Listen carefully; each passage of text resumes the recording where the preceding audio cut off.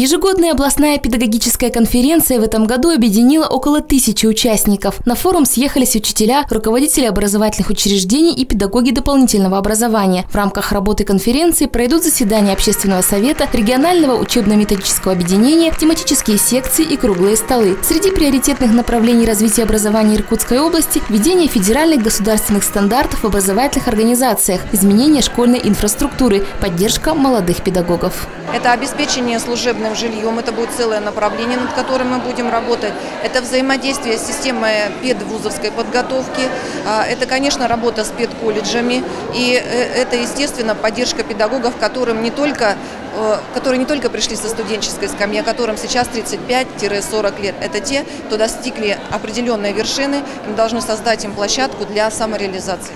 Торжественная часть продолжилась чествованием лучших педагогов области. Памятные награды вручал глава региона Сергей Ерощенко. Он подчеркнул, что величие Иркутской области основывается на ее высоком образовательном потенциале, поэтому забота власти – создание максимально комфортных условий для работы учителей. Вы очень планово готовитесь к учебному году. И то, что э, завершение такая большая конференция с каждого уголка Иркутской области вы приехали – и участвуете в общении, обменитесь опытом, делаете это с любовью, с любовью к территории, друг другу, э, к будущему. Поэтому вот за такую работу, за консолидированную работу, за работу, которая движет вперед, я вам искренне благодарен.